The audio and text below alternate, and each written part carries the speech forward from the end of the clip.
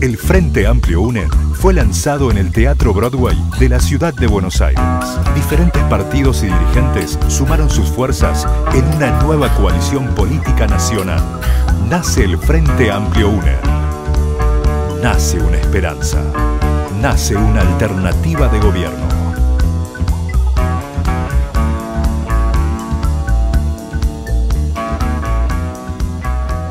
Aquí estamos construyendo una nueva esperanza para los argentinos, que es precisamente el Frente Amplio UNEN, que viene a consolidar a todos los sectores progresistas de nuestro país y que es una fortaleza extraordinaria para lograr mejor calidad de vida para todos los argentinos.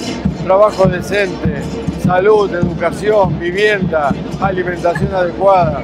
Tenemos un gran camino por delante y lo tenemos que construir con toda la unidad de nosotros, por supuesto, este es nuestro compromiso, pero también con la unidad del pueblo argentino.